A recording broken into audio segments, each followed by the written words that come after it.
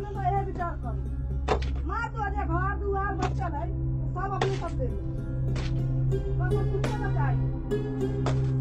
दोस्तों, एक वक्त ऐसा आता है जब इंसान पर हकीकत खुल जाती है कि वाकयातन इस दुनिया के अंदर वो कौन सा खालिक मालिक है जिसने दुनिया को पैदा किया।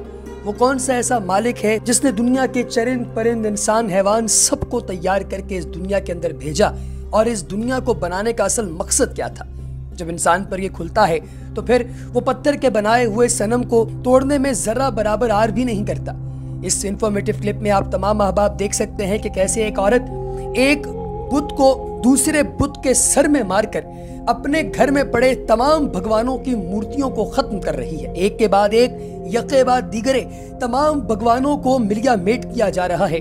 और इन सब भगवानों के सरों को तोड़कर, इनके बाजुओं को तोड़कर, इनकी टांगों को तोड़कर, इनका कचूमर बनाकर, इनके जर्रे जर्रे करके दुनिया को यह बताया जा रहा है कि जब कोई ये सोचता है, जब किसी को ये लगता है कि ये पत्थर की मूर्तियाँ उन्हें कोई फ़ायदा दे देंगी तो वो इंसान उसी वक्त एक अक्लो शऊर के पिंदार से बाहर निकल जाता है, जिस पर खुदाए बुज़ुर्ग बरतर ने उसे दस्तरस अता की है।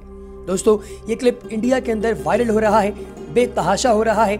लोग इसे देख रहे हैं कि आखिर ये कौन से ऐसे खानदान हैं जो कि इस दीन इब्राहिमी का पाया बुलंद करने वाले हैं। सोलह खानदान ऐसे हैं दोस्तों, जिन्होंने दीन इस्लाम कबूल कर लिया। इस कोरोना की वबा के अंदर उन्होंने जब ये देखा कि सबसे ज़्यादा जाने जो हैं, वो हिंदुओं की जा रही हैं, जो कि पाकी से दूर थे, पाकिजगी से दूर थे, जो कि अल्लाह तबारक ताला के बताए हुए उसूलों पर नहीं चल रहे थे, और जो गाय का मूत्र पीकर समझते थे कि शायद उनकी ज़िंदगी ठीक है। ये तमाम लोग इस वक्त शदीद कर्ब के अंदर मुबतला हैं, ये शदीद तकलीफ़ के अंदर मुबतला हैं। यही वजह है कि इन लोगों को अब अकल आ गई है और ये अपने बुतों को तोड़कर दोबारा से अल्लाह तबारक ताला की जानब रुजू करने की कोशिश कर रहे हैं। सोलह खानदानों ने अलहमदिल्ला कलम तयबा पढ़कर दीन इस्लाम के अंदर शमूलियत अख्तियार कर ली है। अल्लाह पाक की ज़ात इन सबको इस्तकामत नसीब फरमाए। अगली वीडियो तक दीजिए इजाज़त। अल्लाह हाफिज।